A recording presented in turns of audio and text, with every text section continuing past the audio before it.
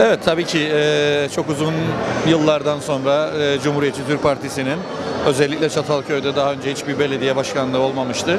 E, iki belediyenin birleşmesiyle de bir ilk oldu. E, 18 belediyede ilk kez bu Çatalköy Esentepe Belediyesi'nin ilk belediye başkanı olmuş olduk. E, güzel bir duygu ama yapacak çok işimiz var. 25 Aralık'ı biz geride bıraktık. E, ceketimizi çıkarıp yerine astık. Artık 4 yıl sonra giymek üzere. O yüzden bu süreç içerisinde halka eşit, adaletli bir şekilde e, herkese dokunabileceğimiz bir anlayışla belediyenin tüm gelirlerini, giderlerini sorgulayabilecekleri şeffaf bir yapıyla e, önümüzdeki 4 yılı geçirmeyi planlıyoruz.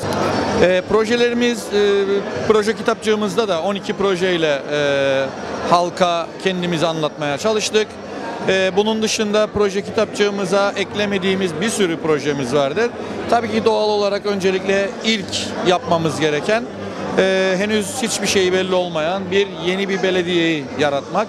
Çatalköy Esentepe Belediyesi'ni tam anlamıyla yarattıktan sonra e, projelerimize halka dokunabileceğimiz ilk projeyle başlayacağız. E, tabii ki inşallah 2023 yılı 2022 yılını bize aratmaz. E, 2022 yılındaki tüm olumsuzlukları geride bıraktığımız e, çok güzel günlere gebe olur diye düşünüyorum.